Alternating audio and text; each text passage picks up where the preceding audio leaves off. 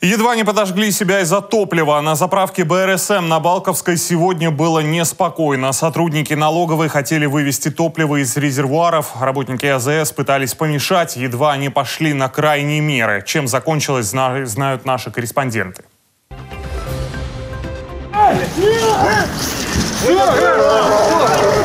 Работники заправочной станции БРСМ на Балковской 1 толкаются с представителями самообороны Одессы. Те хотят оттеснить людей от емкостей с топливом. Бензин и дистопливо оттуда хотят вывести сотрудники государственной фискальной службы. В ходе проведения следственных действий будет сейчас изыматься топливо. Прошу граждан, которые мешают проведению следственных действий, действуют незаконно сейчас, своими действиями Скажите, пожалуйста, мешают а... изымать топливо.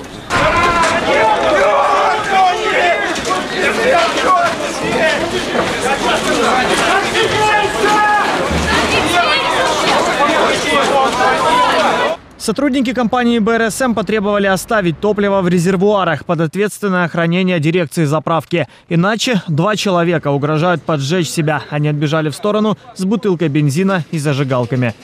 Отступать некуда. Завтра это будет еще одна заправка, потом это еще одна заправка. И 10 заправок вы откачаете. Откачаете себе в карман. Я этого не допущу. По крайней мере, если вы здесь что-то хоть литра возьмете, я себя спалю. Я вам сказал. Идите, говорю, с. Пока прекратили. Олег работает в киевском подразделении компании. По его словам, ситуация с сетью заправок в Одесской области катастрофическая. Говорит, с нескольких станций неизвестно куда уже вывезли топливо на сумму свыше 200 тысяч долларов. На сегодняшний день, это я так могу сказать, так вот на, на скидку, 80 кубов каждый, на каждый здесь, вот, э, на каждой АЗС не менее 80 кубов топлива. Умножьте на 20 гривен. Посчитайте, какое количество денег они просто крадут. Просто крадут у людей. Мы не знаем, куда они его забирают и куда оно девается. Сам факт то, что люди, которые работали здесь и работают до сих пор, до сегодняшнего дня, не имеют возможности ни кормить семью, ни зарплаты, уже месяц нет. Спустя почти два часа следователь приостановил следственные действия. Сотрудники налоговой покинули АЗС, как и бензовозы. Руководитель АЗС говорит, 28 ноября здесь опломбировали заправочные колонки, когда следователь приходил в первый раз с решением суда. Вообще в определении суда э, есть два фейковых заявления на всего лишь на два вида топлива.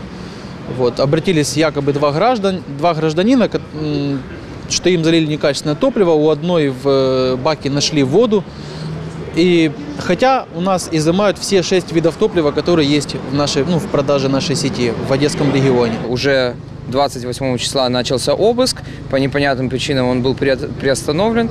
Э, наш уголовно-процессуальный кодекс, действующий на сегодняшний момент, предусматривает, что только один раз можно по ухвале проникать в жилище или иное владение лица.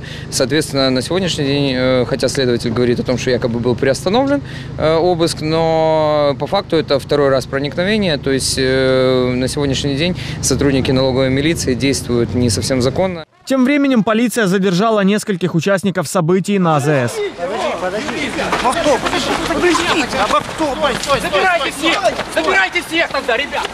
Сейчас мы э, рассматриваем факт о том, что э, человек мог общественно опасным способом э, причинить э, ущерб Э, находящимся здесь объектам, а также э, гражданам, которые находились рядом. Доставлены в Портофранковское отделение полиции, Приморского отдела полиции для выяснения обстоятельств. Все люди будут опрошены, допрошены, установлены их э, личности и проведены все следственные мероприятия, необходимые для установления истины. Будут ли кому-то предъявлены подозрения, в полиции пообещали сообщить позже. Александр Полуев, Валентин Мирза, Седьмой канал.